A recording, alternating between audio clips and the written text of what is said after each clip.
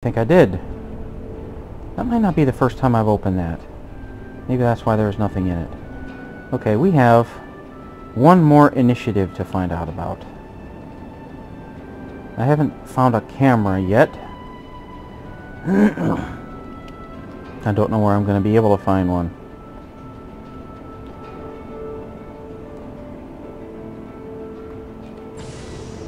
We have to find out about red bipidry meat.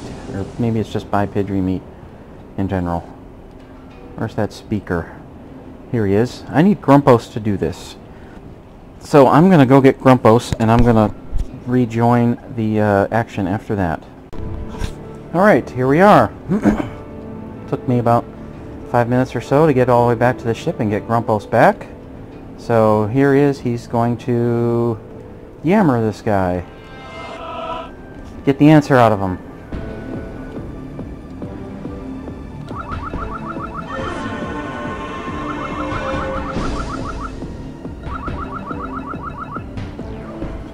Grumpos is so good at yammering. Here he is. I hate to interrupt, but my two cents are worth as much as yours. And maybe even a penny more. Do you see me standing on a soapbox spouting my why and wherefores? I just want a moment to tell a little story from my yesteryears. And I ain't spinning no tale, or weaving no yarn here. It's pure truth. Long years ago, there was a time I owned a bipidry. I'd left the military for a soul-searching quest to find myself. I spent an Indian summer building a cabin in the Corsican backwoods. I was complete with a chicken coop and a domestic bippy for companionship. It sang while I worked. I remember that fall fondly. In my youthful optimism, I named him Alejandro, after the Hispanic singer. even though he was dumb as a plum tool, plumb bob, I had to love him. The poor thing was a castrato. You see, Bipedry breeders cut off their tiny whizzer-mabobs before they reach pubertus so that they retain their soprano voices. How could I not feel for him? Well, two weeks into winter and everything turned south on a dime. A Hannigan fox broke into the chicken coop and enjoyed a five-hour course fate. Is that feet or fit? I don't know. The same week, a water pipe sprang a leak over my winter rations. I was getting hungry and Alejandro was getting nervous.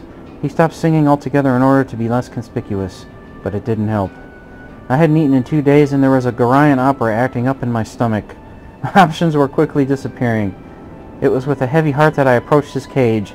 Alejandro looked up at me with those huge weepy eyes. Then he saw the gutting knife in my hand. I still remember the look on his face. Bipedry meat ain't tender, my friend. I was a strong arm in my youth, and Alejandro made for an uphill cut job. His limbs were especially fibrous. You get your knife caught in a blood hose and you're looking at some soaked meat. Took me half an hour just to cut around his vein cavity and such. Point is, you're talking to the wrong man if you're looking for sympathy when it comes to eating the farm. Making laws ain't gonna stop a starving man from killing a walking ball of meat, son. Frankly, if they're slaughtered the same way cattle are, I don't see the problem. So go stuff it up your goose pipe. Shock.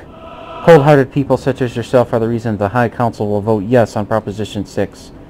We've heard your voice. We know your opinion. Please excuse yourself. Okay, we've got all of our answers. So poor Grumpos, I guess, had to eat a bipedry to stay alive, or maybe he just made it up. I think I just went in the wrong direction. I have to find the votabulator. Did I go up here yet? I think I did. And I don't know if I can get up there.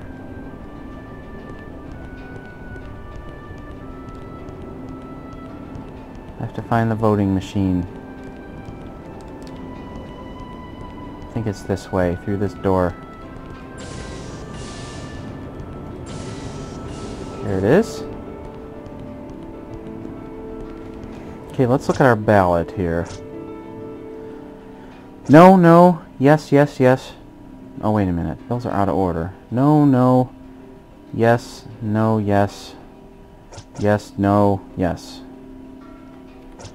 Probably won't remember that. Let's see if I can do this.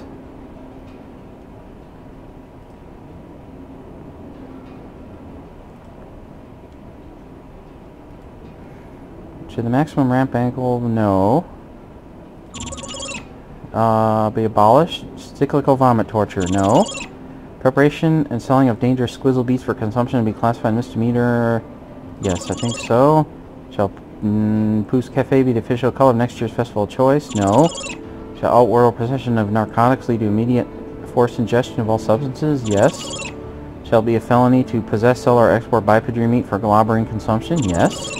Shall deforestation of the Woggies forest for door herding land be allowed? I think the answer is no. Shall marriages between ring dwellers and plant dwellers be recognized by the state? I think the answer to that one was yes. Here's our Gold Ally Council card. We're done. Let's go back and, uh...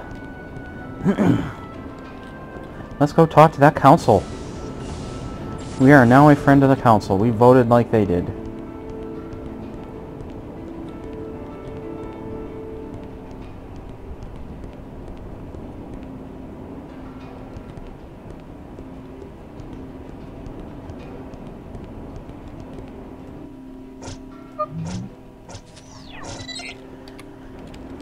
Game is saved.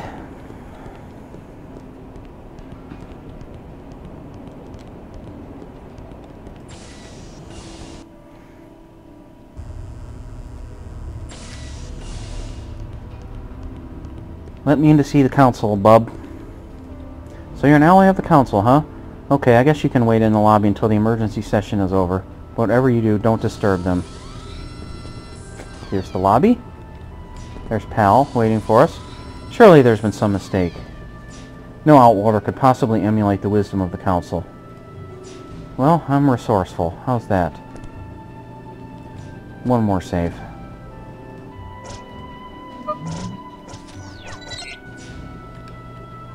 Hey, Pal's here. It's about time you guys showed up. Too bad you didn't want me dragging along. I got scared waiting by myself, so I came looking for you guys. Turns out the guard outside is a big old robot lover. He's got half a buddy unit in his garage that he's trying to build. He said I could wait in here if he was too, if I was too scared outside. Where have you been?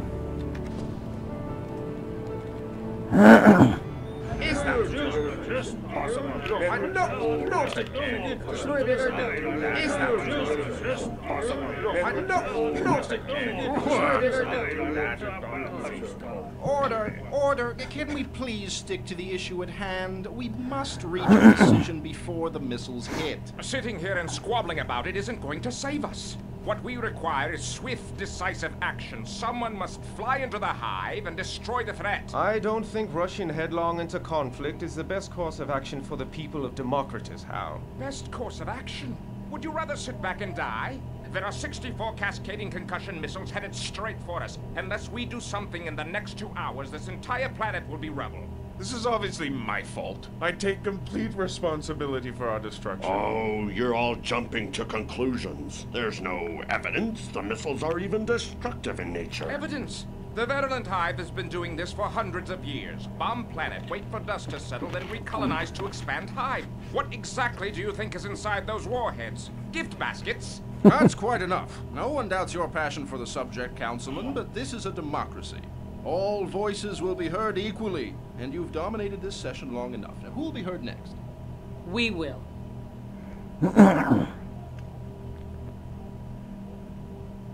I've heard enough.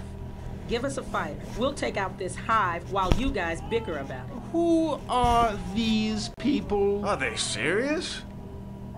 Uh, could we talk about this for a second? You want to get off this planet or not? See? Now that's decisiveness. Get this man a fighter. That's a woman, Hal. Aren't we all forgetting something? the 228 Sparrow is a state-of-the-art asteroid fighter. It packs everything a talented pilot would need to infiltrate and destroy the hive. Except our hangar security systems are still Uh-oh, have to fight There's some no time robots. for a subcommittee to approve the activation. So you'd have to fight past a division of deadly sentry robots just to access the ship. Sir, do I look like I care? Where are the keys?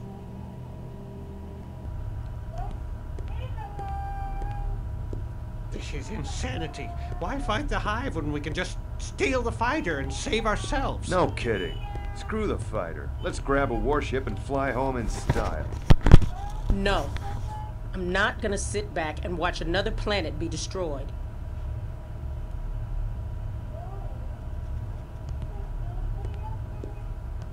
Rho's got some principles, I tell you. Can't let you do this. Your concern is sweet, pal, and unfortunate because you're coming with us.